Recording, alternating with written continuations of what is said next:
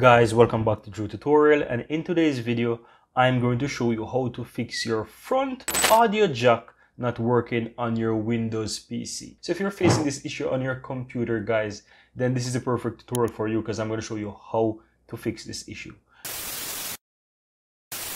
Now, there are three things that you can check in order to resolve this issue. And I will start with the first one here by simply clicking on your Windows icon here on your taskbar and you simply want to type in Realtek and you want to open the Realtek audio console. From here, you want to look to the lower left hand side where you have the device advanced settings, right? So once you click on that, you will be able to see in this section here if it is saying disable front panel jack detection. If you see that unchecked, go ahead and check that and you want to go ahead and restart your computer. And this is going to be under the section where you have the connector retasking section, right? So you'll be able to see it under the connector settings section, right?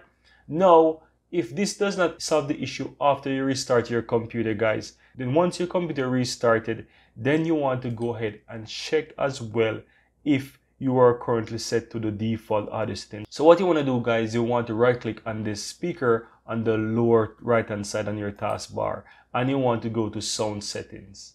From here guys, you want to go under the section where it says advanced and you want to click on more sound settings here.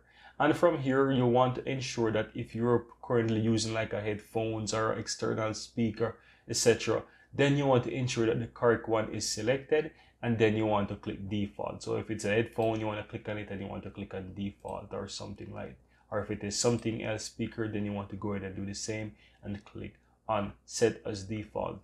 And if you're using like a mic or something, then you can go ahead and you can go to the recording section tab here at the top and you want to select the appropriate one and then you want to go ahead and click set as default, right?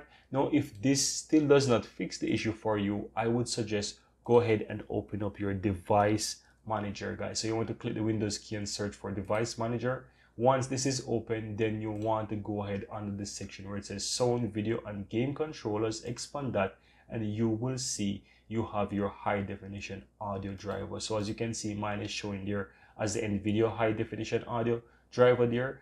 You want to go ahead and right click on this and you want to run update select search automatically for the driver and it will detect and go ahead and install the latest driver for you right? So once you do this guys go ahead and try again to see if the issue is resolved now if you try this and you're still having issues you can go ahead and you can try to update it you can go ahead and search manually here and you will see the option that says let me pick from the list and you can go ahead and choose from these options here so i would start from this one here then try from this one and also that one. So you go ahead and try the different options here in the list and then go ahead and test again.